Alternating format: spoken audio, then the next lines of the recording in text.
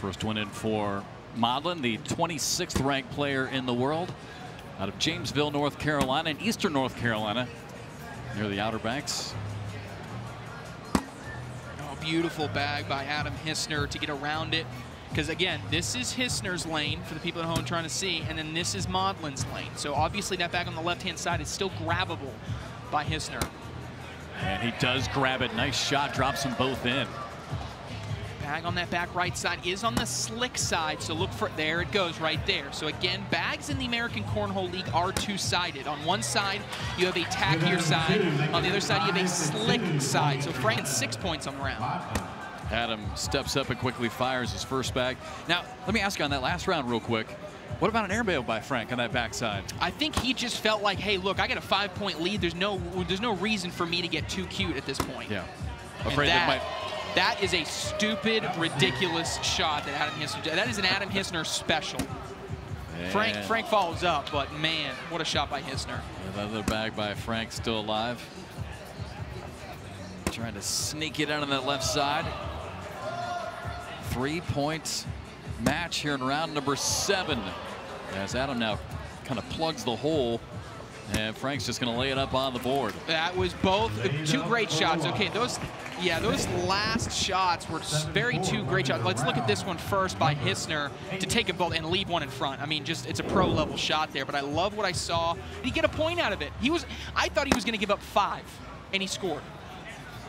Round number nine, four-point lead for Frank as that one goes deep, and now we'll see if Adam can somehow push this one up a little bit closer to the holes. He goes airmail first. Yep, because what he wanted to do, he, he, he was airmail may have given him an and one, which would help him on the scoring rounds. Because now, though those bags on the, on the right side, Hissner may try a cut shot now to drag this bag. Come on now. And oh, now will those fall? They still Come are just on. not going. He's talking to him. See what happens here with the vibration of the board again as Frank sends it in and two drop for Adam.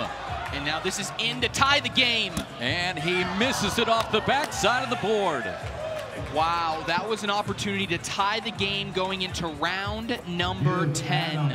And now Frank Modlin holds a three-point lead into the last round for a chance to win $20,000. Tell you what, Trey, over the last 16 weeks, what we have seen, it just does not matter the sport. Whether you're playing football right across the street here or you're playing basketball, whatever the sport is, when it's competition and this type of money on the line, I mean, the nerves just always seem to rear their ugly head at some point. Yeah, and this is perfect for Hissner. He's going to go airmail, and he hits it. That puts a lot of pressure on Modlin now, because if Modlin chooses to go airmail and misses, it's set up for a three-point round.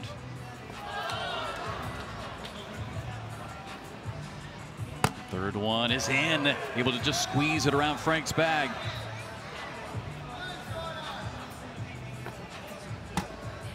That one spins off to the backside. And now, will he go airmail? No, he's going to try to get around it, and he sits. And now, here's the situation, Jeff. If Frank Modlin puts a single bag in, he will win this game 8 to seven. If he leaves it on the board, he will give up four, and Adam Hissner will win. This bag in the hole is for the win, and if it's not, Adam Hissner is your champion. One timeout. It's too easy. Frank wants to look, but he's already taken his one and only timeout. He gets oh. two oh. in doubles play, I mean singles play. All right, so he is going to take a look at this one then. So the second and final timeout for Frank as he'll make the long walk 27 feet to the other end and take a look at this situation. Again, Adam Hissner showing plus five at the moment. It's too easy. Frank Modlin, if he puts, like I said, he puts this bag in the hole, he wins. And the on, on converse, okay, one situation that also could happen, it's less likely. If he goes in and takes this yellow bag with him, he'll still lose. So he's got to go in without a Hissner bag. Biggest shot of Frank Modlin's career right here. For this is a $20,000 bag right here, Jeff. And as you said, one has to go in, and he cannot get it! It stops just shy of the hole. And Adam Hissner is your pro shootout men's singles champion.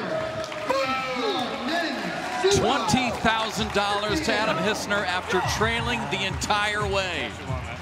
What a match.